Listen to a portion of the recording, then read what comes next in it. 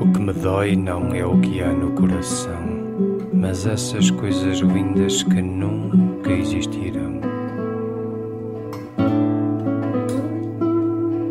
São as formas sem forma que passam sem que a dor as possa conhecer ou as sonhar